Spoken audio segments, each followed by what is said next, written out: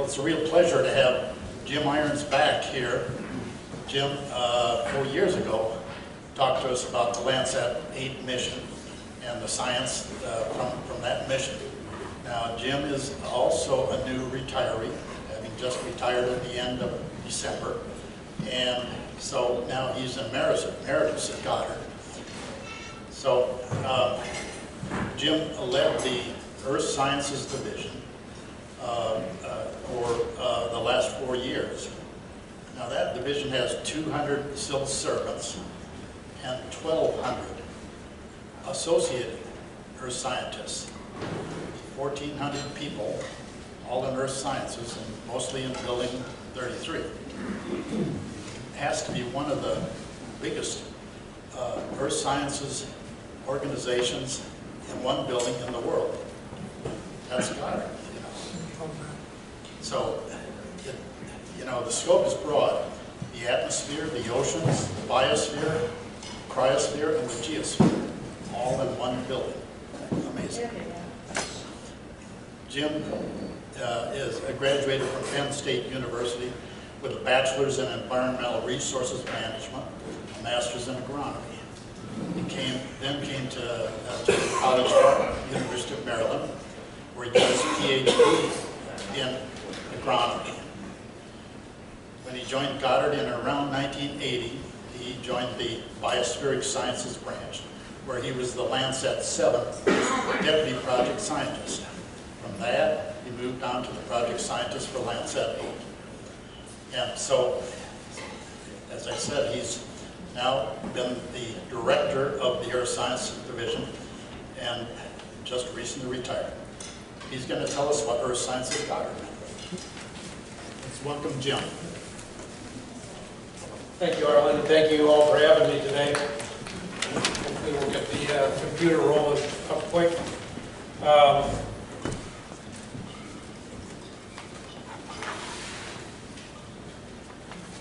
I have way too many charts, it's typical for a scientist. Um, So I'm going to buckle your seat belts, I'm going to roll quickly. But uh, if you want to interrupt, and answer, ask a question, please feel free. Uh, Just shout it out and uh, do my best to answer. Hey, it's working, all right. So as Arlen said, until uh, this January 1st, I was the director of the Earth Sciences Division uh, and was uh, at Goddard for 43 years. Uh, A few years ago, uh, Chris Scolese uh, had a uh, senior management retreat, and in preparation for that retreat, uh, Goddard Space Flight Center was surprised to learn that the single biggest source of funding for Goddard was Earth Sciences. So, um, if for no other reason, if you're not interested in earth science, it's uh, because uh, one thing that should get your attention is it brings a lot of, lot of business to Goddard. But there's a lot of other reasons as well. So today, it advances, there we go. Uh, So today I'd like to just briefly touch on NASA's Earth Science program as a whole. Uh, Talk about the Goddard Earth Sciences Division. Uh, But uh, Earth Science at Goddard doesn't end with the code 610. Um, There's also Earth Science flight projects, many of which are managed by the Earth Sciences uh, Project Office, code 420. And then I just uh, would like to finish up with my view of what Goddard's earth science priorities should be.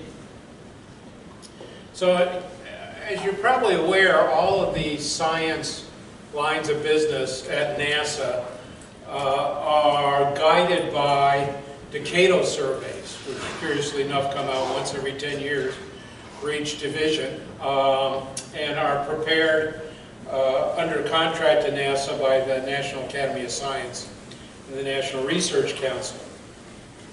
Our most recent survey uh, for Earth Sciences came out actually in January of 2018, and the final version didn't come out till September, but uh, it's referred to as the 2017 Earth Sciences uh, Decadal Survey, Thriving on Our Changing Planet. The person most responsible for implementing the recommendations and the guidance from the National Academy of Sciences at NASA headquarters as the uh, director of the headquarters Earth Science Division, who is currently Karen, Dr. Karen St. Germain. Uh, Karen replaced uh, Michael Freilich uh, and the acting director, uh, Sandra Cauffman, when she came to uh, NASA headquarters in June or July of 2020. Uh, She had been uh, previously the uh, uh, Deputy Associate Administrator for NOAA and their National uh, Earth, uh, excuse me, NOAA Environmental Satellite and Data Information Systems Group. She is um, an advocate of uh, using distributed uh, satellite systems uh, with small sats and CubeSats. She's enamored with that approach, and she is also very interested in advancing uh, our data information systems to create a more open uh, data system that helps to accelerate scientific discovery. And uh, last year, she referred to as 2022 as the year of Earth science. The Decadal survey I mentioned um, designated or, or listed um, five what they called um, designated observables. Uh, one was aerosols, one is mass change, one is surface deformation and change, uh, the fourth is surface uh, biology and geology, and the fifth was uh, called uh, clouds, convection, and precipitation. Uh, Mike Freilich kicked off um, inter-center architecture studies to implement observing systems to uh, observe each of these designated observables from the Decadal survey. At Goddard, we led and combined uh, the two areas of aerosols and clouds, convection, and precipitation into one observing system. So uh, although all the architecture studies were inter-center, Goddard led one that was called ACCP, uh, while JPL led the um, architecture studies for the other three, uh, other three designated observables. Um, The reason um, it it was fair because uh, the, uh, what they call the CATE, the uh, the budget estimate from the National Academy of Science, if you put uh, aerosols and clouds, convection, and precipitation together, they estimated it should be about a $1.6 billion system. Uh, The other three combined that went to JPL were estimated to be uh, less than a billion. So uh, we got the Goddard Space Flight Center got the bulk of the work. So I'm going to return to this briefly. This chart. Uh, Karen St. Germain has begun uh, calling these collection of future systems the Earth System Observatory. We used to have an Earth observing system. I'm sure you'll remember. The next thing will be the Earth System Observatory. The Decadal survey also recommended uh, a set of observables to be addressed by Earth Explorer missions which are to be um, derived from, uh, uh, from proposals. They- They're to be competed, with each having a cap of $350 million. That's for an entire flight project, including launches, so they're relatively small. And the first announcement of opportunity for uh, Earth System, or Earth System Explorer missions uh, is intended to be uh, released this year in, in 2022. We haven't seen it yet. And then finally, NASA uh, headquarters uh, in Earth Sciences is, uh, in fact, in all of the sciences, is very much interested in evolving our data and information systems to a more cloud-based system that will allow more open and uh, transparent access to both the data and the models that we use to study uh, the Earth, uh, the Sun, the planets, and, and the solar system. So um, there is a there's an initiative uh, within the Science Mission Directorate and within the Earth Sciences Division at headquarters to develop these more open uh, systems. And I'll return to that and our role in that uh, in, in a moment.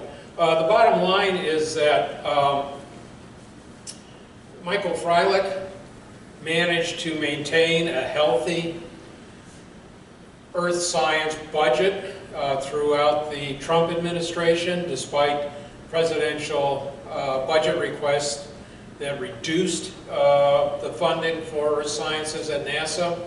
Uh, most of those reductions were overturned uh, by Congress, and our appropriations remain pretty healthy, on the order of $2 billion or close to it. Uh, the first presidential budget request from the Biden administration increases uh, that uh, funding in FY22 uh, by a quarter of a billion dollars to uh, two billion, two hundred fifty million.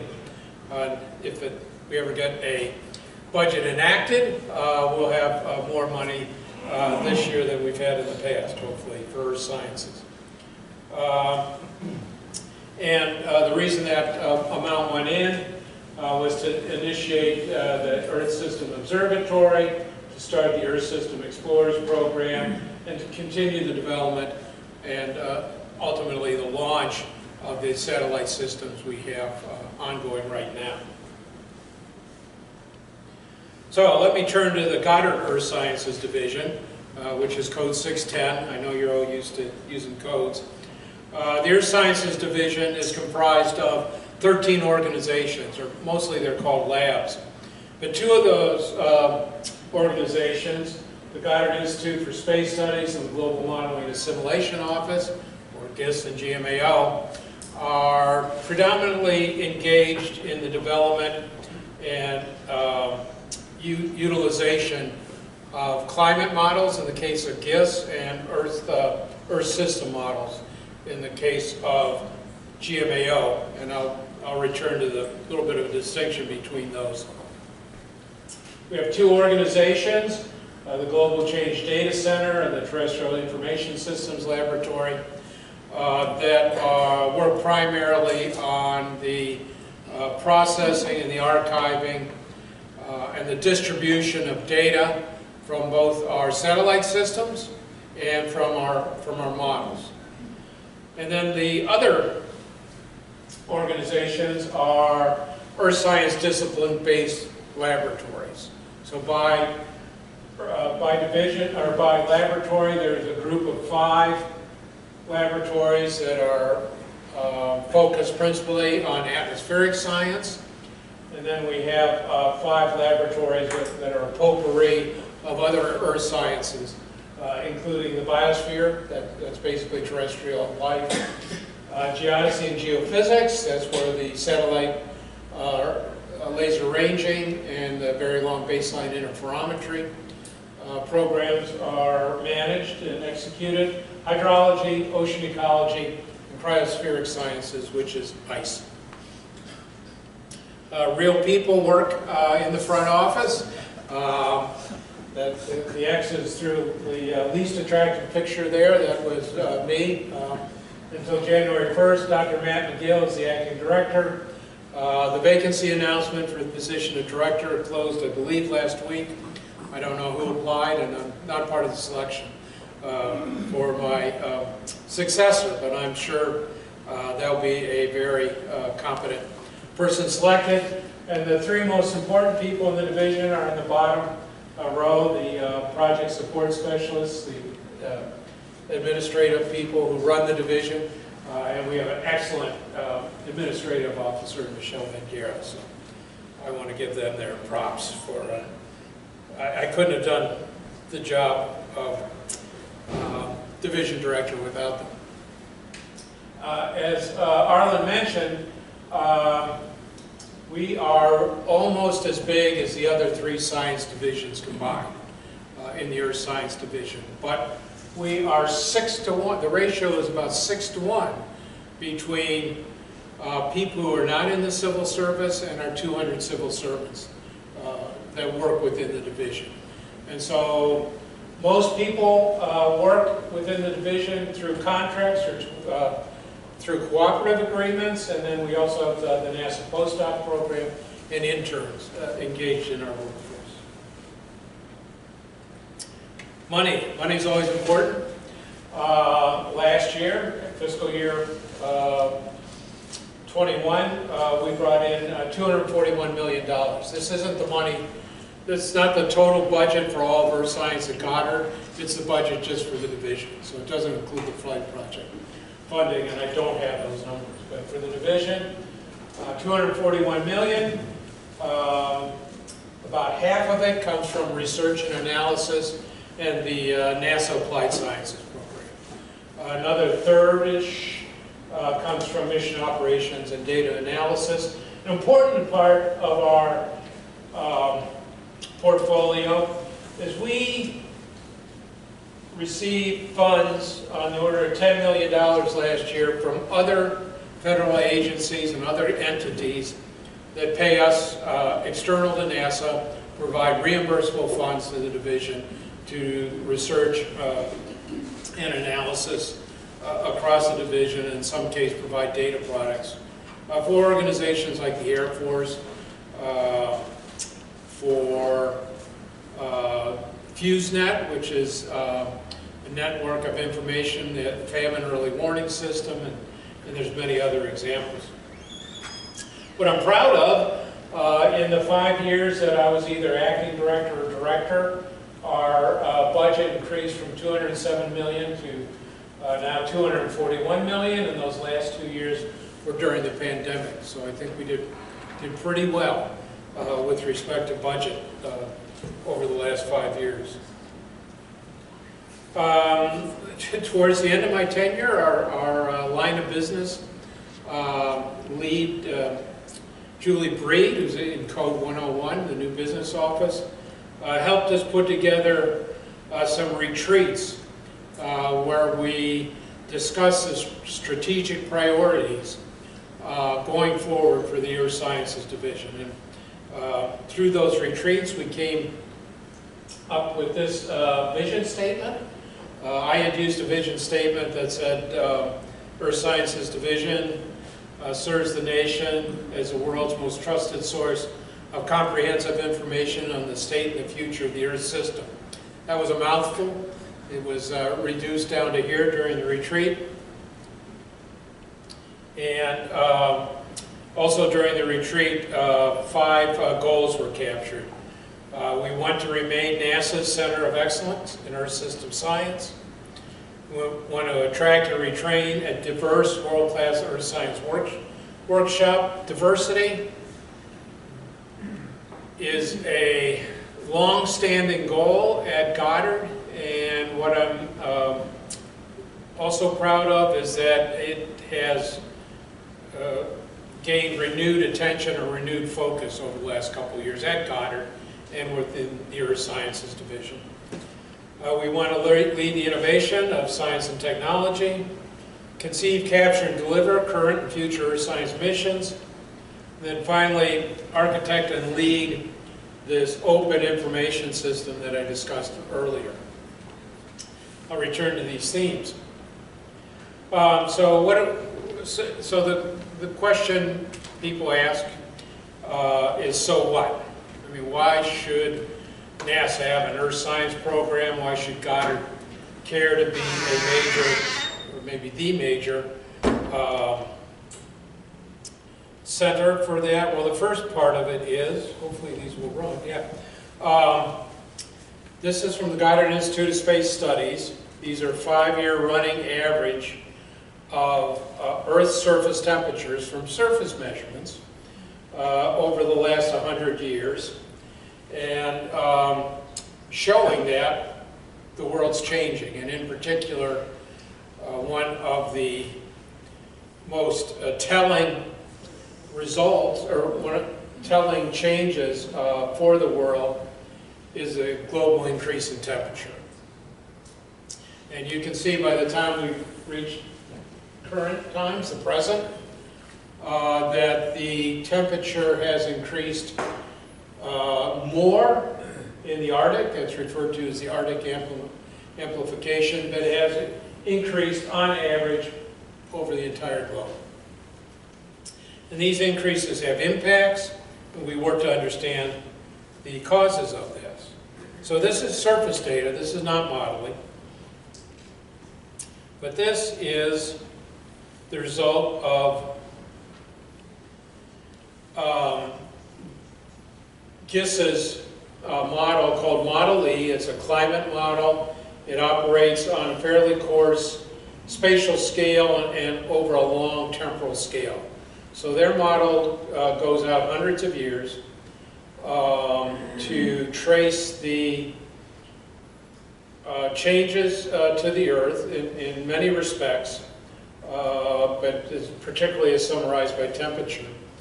But what the model does is it allows analyses of what the causes of uh, those changes are. Changes, the causes of those changes are obvious. In the next chart, oops, keep going, there we go. So the next chart is from the GMAO, uh, Goddard Modeling Assimilation Office um, model, Earth System model called um, GEOS. Uh, Goddard, afraid you were going to ask. Goddard um, Earth System, I forget the acronym, it's GEOS. Um, and um, it's an Earth System model, which is like a super souped up weather forecasting model. Except it does more than your typical uh, weather forecast model. It's run uh, to, uh, in, in part, to help uh, NOAA learn from the model and be able to make better forecasts operate operationally, uh, but also to understand what's going on across the globe on shorter time frames and higher spatial resolutions than uh, the, the GISS uh, climate model. And this is a visualization of carbon dioxide emissions and transport across the Earth. And what you can see is that the emissions are low during the summer months because vegetation in the northern hemisphere absorbing carbon dioxide uh, from the atmosphere, but as you get into the fall and the winter, well, you can also see carbon dioxide coming off of uh, wildfires as well. And see that carbon dioxide transported uh, across the globe. And in addition, the, the um, GMAO model is four-dimensional. So you got space, horizontal space, you got altitude in the atmosphere, uh, and you have time. As you see, as you move into the winter, where we're burning more fossil fuels in the northern hemisphere, and the vegetation is absorbing less of the carbon monoxide, you have greater concentrations of carbon monoxide to the point where we're well over 400 parts per million uh, in general. Yes, Harlan? Is that based on uh, uh, uh, surface emissions or on uh, observations of CO2 in the atmosphere? Um, yeah, so it's based on, um, it's based on uh, assimilation of satellite observations, primarily from OCO, uh, the uh, Ocean Carbon, or excuse me, the yeah, Carbon Observatory, too, from JPL. But uh, the GMAO is a leader in data assimilation into models. And this is one of the powers of, of what they do in GMAO is to be able to do that. So let's go. Um, so what are some of the impacts of um, carbon dioxide increasing in uh, increasing in the atmosphere and the increase in the uh, global temperatures? Well, one of the impacts is that the ocean is absor absorbing most of that heat. And uh, as a result of absorbing most of that heat, we're seeing an increasing number of hurricanes, and we are seeing hurricanes experiencing rapid intensification over time. Now this is a data product from a program called IMERG at Goddard Space Flight Center, where the data from the um, GPM, the Global Precipitation Mission, as well as an international constellation of other uh, cloud and precipitation observing satellites, is put together to, um, to provide estimates of precipitation rates globally once every three hours. And um, through those observations, through those um, measurements of precipitation, you can see hurricanes developing and tracking across the oceans onto the land and dropping off uh, a lot of a lot of rain under our land surfaces, causing heavy damage from winds and floods. And it's just a well, it's not just it is, is a highly sophisticated observation of one of the impacts of global global climate change uh, that we make at, at Goddard Space Flight Center. Another observation we make, principally from uh, microwave radiometry, uh, is the extent of sea ice uh, globally.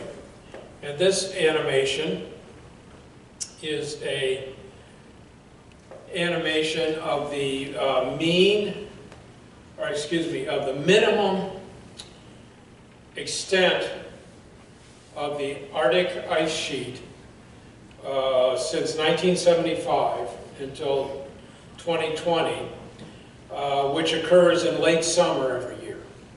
And as has become obvious, uh, the impact of global warming is that the minimum ice sheet in the Arctic uh, has decreased substantially and to the point where we now have a Northwest Passage uh, through the Arctic at that time of the year where, where there's never been one before in recorded history. And this is part of what I talked about before, the Arctic amplification.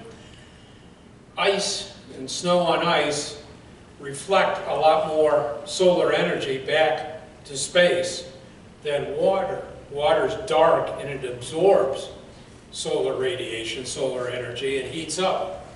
And so as temperatures have gotten warmer and the Arctic ice sheet has decreased in size, there's an amplification.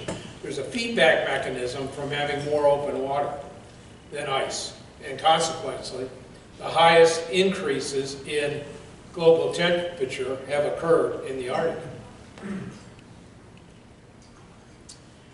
And then um, also based on uh, Goddard analyses, of data from JPL missions, GRACE and GRACE follow-on, that measure gravity.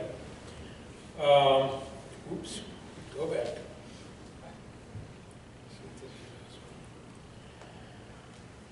Over the years, uh, we're uh, observing um, the loss of land ice from uh, glaciers and places like Greenland and Antarctica.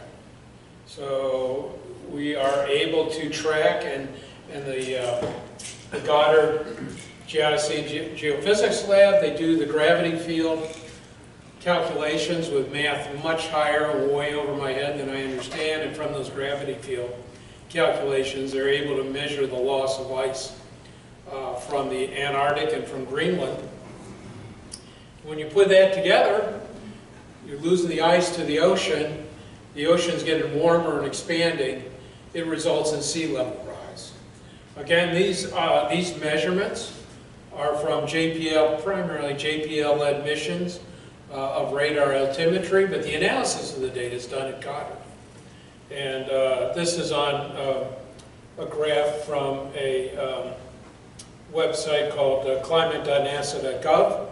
Uh, JPL runs this website. it's a nice website, but they do attribute these analyses to Goddard on their website, which for which we're grateful. Um, I don't want to belabor this one, but uh, another point is that uh, sea lot uh, from our Goddard analyses, sea level rise is not uniform across the world. It's just not filling up a bathtub, a bathtub. So there's different places in the world where sea level uh, rise is greater than other places.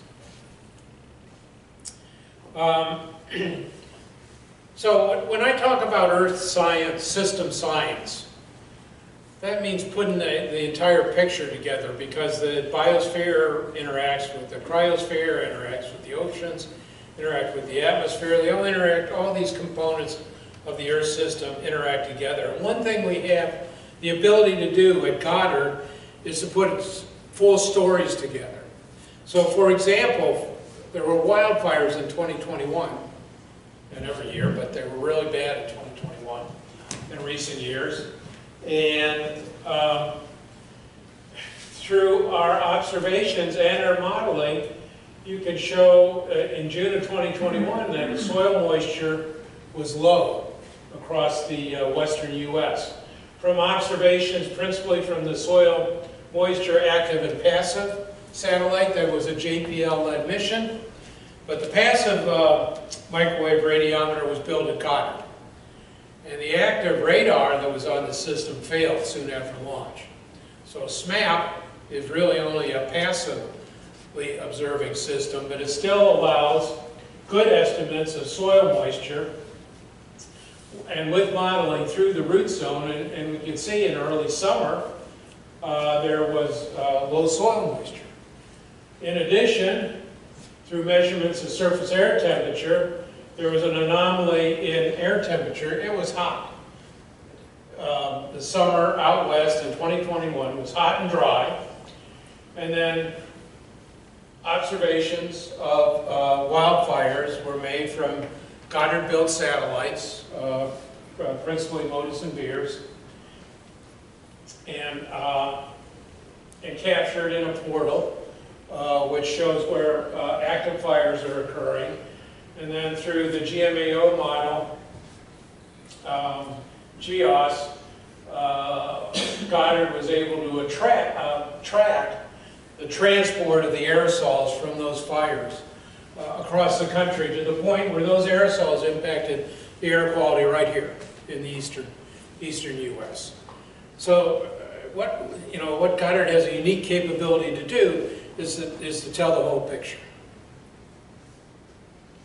Um, and then going back to the GISS model, you, know, you think of impacts of climate change, well, they're able to predict climate change out 100 years or more, and then do analyses to determine what that impact might have on, uh, for example, agricultural production across the world. So this is a study done at GISS, and as you can see, uh, if, you, if you can read the uh, legend there, the red's a reduction in, uh, in maize crop yield uh, in those areas of the world.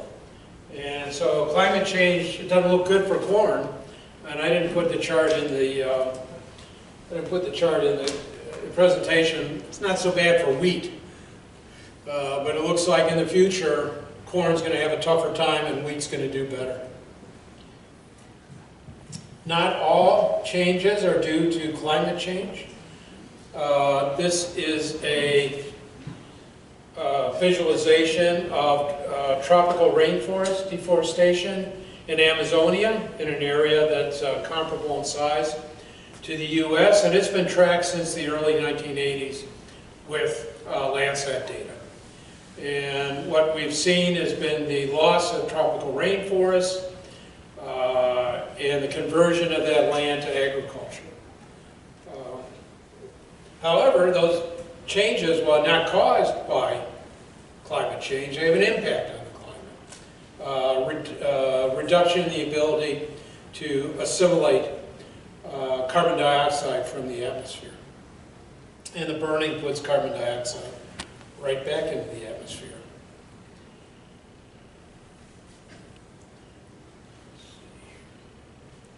So now um, Goddard built an instrument called GEDI, which is on the International Space Station. Um, like ICESat-2 and ISAT, it's a laser altimeter, uh, but it is was built and intended to make measurements of uh, the height and the density of vegetation. So now, in addition to the two dimensions of forest cover you get from instruments like uh, the ones on Landsat or MODIS on Terra. Terra is providing that third dimension of height and uh, to get a better estimate of the carbon stocks in the forest of the world. It's not all bad news. I, I promised uh, Arlen and PK I had one, one chart on, uh, on ozone. I have ozone experts in the audience, so I'm, I'm not, I'll be brief. but uh, the bottom line is, is due to observations that have been made possible by uh, Arlen, PK, and other people at Goddard. Uh, we've been able to attract, um, track the depletion of uh, stratospheric ozone which uh, protects our, our world, the planet, from harmful ultraviolet radiation from the sun, amongst other things. Um, the good news is that in, um, what year was it, 1980, I forget, PK, uh, there was an international agreement signed called the Montreal Protocol and to reduce the production and use of chlorofluorocarbons, which were the chemicals that were destroying ozone in the stratosphere. And as a result of that agreement, which has been pretty well adhered to by the nations of the world, the ozone uh, hole is beginning to recover. And um, so it gives us some hope that as uh, climate change uh, occurs, that the nations of the world can get together, reduce uh, through the Paris Accords, for example, the emission of carbon dioxide and other greenhouse gases, and we can mitigate some of the impacts of, of uh, carbon change, uh, of global climate change. I wanted to mention that um, people at Goddard and the Earth Sciences Division and beyond are engaged in many, many field campaigns. So we not only make measurements from space, we also make measurements from aircraft and on the ground. This is just one uh, called ABoVE, Arctic Boreal Vulnerability uh, Experiment. Uh, this is a field campaign that's ongoing in Alaska in the Northwest Territories of Canada uh, to, uh, to study the impact of climate change on the ecosystems in those areas. It's a 10-year study. Goddard has a group uh, within the Biospheric Sciences Lab that is managing that field experiment two weeks ago when the uh, snowstorm uh, impacted uh, the Northeast. We had Goddard scientists involved in measuring uh, the snow and the causes of the snowstorm from the Wallops P-3 aircraft and from the NASA Ames ER-2 aircraft. And every year, uh, been slowed by the pandemic, uh, Goddard scientists are usually involved in somewhere between 10 and 20 uh, field campaigns per year. Uh, I, I, wanted to mention applied sciences. Uh, the NASA Science Division has a whole applied sciences area.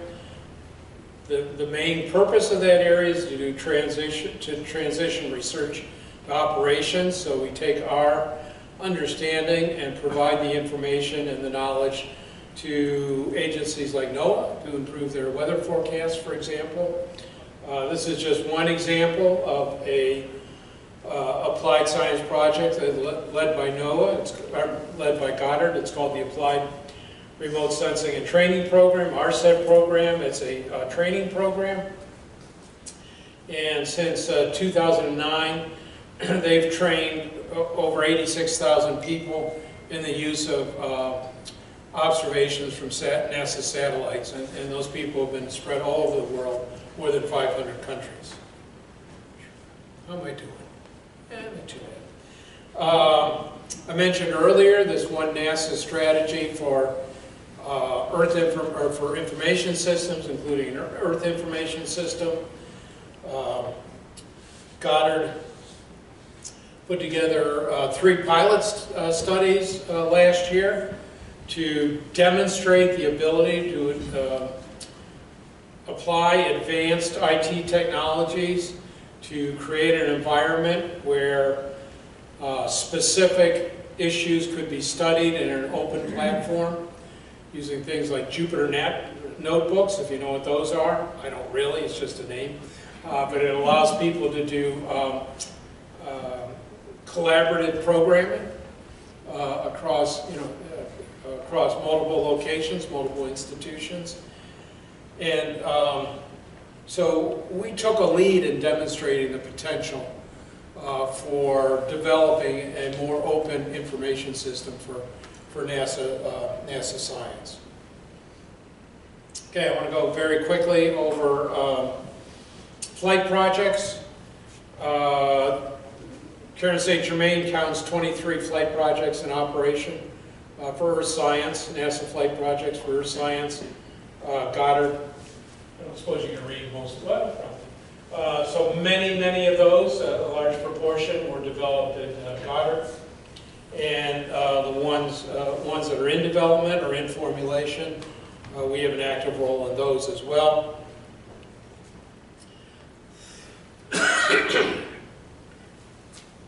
Excuse me. Uh, Leading most of those projects is the Earth Science Project Division, or Code 420. Uh, Jeff Volosin became the director uh, of Code 420 in December, and he's great. He really brings a wonderful background. He was the TESS uh, project manager, and uh, immediately before taking this position, he was the deputy director of uh, headquarters astrophysics. So he knows project management and knows headquarters, and that's a really important background to have for this position. So in the in uh, the project Earth Science Projects Division, there's the Earth Science Data and Information System project. They're the ones who are going to who have implemented and run our current data systems, and will have to be instrumental in developing the future systems. Um, there's the Earth Science Mission Operations (ESMO) projects. There's the one. That's the group who runs our Mission Operations Center. And then all the flight projects in development, the flight project managers uh, report to, uh, to Jeff. Our most recent launch was Landsat 9, launched on September 27th of 2021, continuing what is now a 50-year uh, program of Earth observations, beginning with the uh, launch of Landsat 1 in July uh, of 1972, when I just graduated high school. So it's a really old program. Uh, NASA Goddard has been responsible for developing and launching every one of the successfully uh, launched Landsat satellites. The only one that was unsuccessful was Landsat 6. Goddard was not involved in the development and launch of Landsat 6. All the other ones were done at Goddard. Uh, it just became operational uh, on January 31st. Operations are turned over to the U.S. Geological Survey within the Department of the Interior. Uh, first light image was collected on October 31st, and uh, that flight, uh, those first light images uh, were presented uh, by the center to Vice President Harris when she visited Goddard on uh, last November 5th. Another important component of Earth Science at Goddard are the NOAA reimbursable flight projects. Now, Landsat's not a reimbursable project. Appropriations for the development and launch come directly uh, through Congress to NASA. But in the case of our weather satellites, our primary weather satellites, uh, the appropriations come to NOAA and then NOAA uh, reimburses NASA Goddard to develop the main weather satellites for the nation. And so right now we're working on it, uh, the JPSS, Joint Polar Satellite System. One's been launched. Uh, second launch is coming up. Uh, we also uh, develop, manage the development of the geostationary uh, weather satellites, the GOES satellites. We're in the R series. Two have been launched. Two more are scheduled for launch in the future. and then we're working with NOAA to uh, formulate the follow-on missions to, to the GOES R series, now called GeoXO. I want to mention PACE. Uh, PACE is in, I think it's Phase C. Um, it is a satellite that will carry an imaging spectrometer to make observations of uh, chlorophyll uh, in our global oceans, but not only to just measure the chlorophyll, instruments, uh, other instruments have done that in the past, but also to be able to differentiate the species. Of phytoplankton that are uh, holding that chlorophyll, and that has a big impact in understanding how much carbon dioxide is being absorbed by the oceans. So it's very important. It's a very um, demanding, uh, technically demanding mission. Uh, And right now it's scheduled for launch in uh, 20, uh, 2024, I believe. Uh, The next one, we have, we have two big flight projects in formulation. One is Landsat Next, which is a follow-on, uh, will be the follow-on to Landsat 9, but we also have this atmospheric observing system, which is the, what's the flight project that will address those two designated observables I talked about at the beginning of the presentation, aerosols and cloud convection precipitation. The architecture that has been presented and accepted by NASA headquarters has satellites in um, two orbits. One's a polar orbit, which is scheduled for launch nominally uh, sometime around 2030.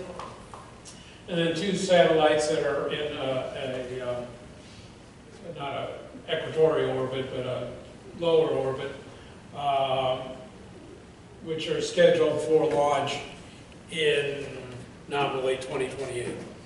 So this is a very important system to atmospheric science and to Goddard in particular, that we continue to develop the lead. Headquarters wants to, to uh, divide the two orbits into two flight projects. So one, they might, names could change, uh, but that's basically the architecture. We proposed in concert with other NASA centers to address, and, and the external atmospheric science community, uh, to address those observations that were designated in the decadal survey. So, that's chart. Hey, right on time. Um, Good. Um, So this is my view of what Earth science priorities are. We are a leader in advanced, in Earth system science. We need to continue to maintain our leadership, uh, to characterize and predict the impacts of climate change, and to observe and accurately predict the water, energy, and carbon cycles at uh, sub-seasonal to seasonal timeframes. We need to continue our applied sciences. We need to tr- transfer our knowledge and research to operational agencies for societal benefit. That's a really important component of what NASA does. Why do the research if it can't, if the research cannot be put into practice and had to help people? Um, we, I want to see Goddard lead NASA's development of this Earth Information System. Um, springboarding off these pilot projects that I mentioned earlier. Um, Goddard needs to develop the flight projects we've committed to, some of which I've discussed briefly. Uh, and we need to successfully compete for future Earth science projects through the Earth System Explorers program and another uh, program called Earth Venture Projects, which are competed through announcements of opportunity as well. And then finally, um, something that's near and dear to my heart that I tried to work on as division director is we can do better in communicating the amazing accomplishments of Goddard Space Flight Center in Earth Sciences to both headquarters, to our own Goddard management, uh, to policymakers, to educators and students, and to the public in general. So to me, the job's not done if you just publish a paper in a refereed science journal. That accomplishment, that knowledge has to be communicated more widely, more broadly. Candidly, I, I don't think that even in headquarters and even within our management at Goddard fully appreciates the uh, scope and the depth of the work that goes on in the uh, Goddard Earth Sciences. Uh, And finally, my own bias. I don't, I think Earth Science is the most important program at NASA. There is no other program that has the immediate impact on people more than the earth science program. So thank you for your attention, and please, any questions?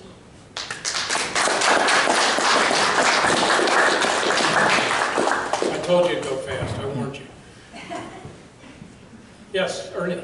Yeah, I was interested in the AOS satellite yeah. system. Is it UV-based spectrometer? Say again, Ernie? It's a UV, ultraviolet visible spectrometer. No, we do not. That's what it said there's not a UV spectrometer. It said UV vis. I think it did. Can you go back? Yeah, This, it's not really a, uh, it's not a chemistry mission. I understand. I was wondering if it could be. There, there you go. The last one under AOS E1. Oh, I take it back. That shows what I know. We do have a U, a U, that's, that's a contributed spectrometer from Canada. I think, so yeah. But uh, this is primarily, chemistry is not really part of the program. It's, it's more aerosols and clouds convection precipitation. Hey, Jim, Yeah, Fred? have we been able to get any uh, useful earth science data from uh, the DSCOVR mission? From DSCOVR, oh, yeah, Really? yeah, absolutely. So there's two earth science um, instruments on it, uh, EPIC and and NISTAR. I'm not even sure I pronounced NISTAR correctly. Uh, I think the most useful data has come from EPIC, but it provides, uh, every three hours, it provides a view of the uh, solar illuminated, the the daytime portion of the Earth.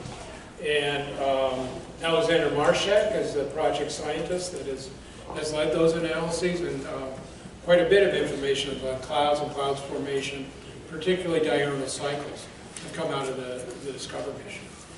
And plus, it's really cool.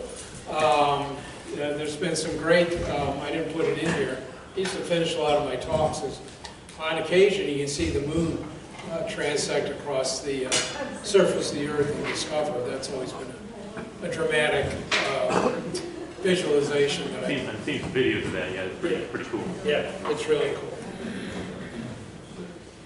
Yeah, Jan?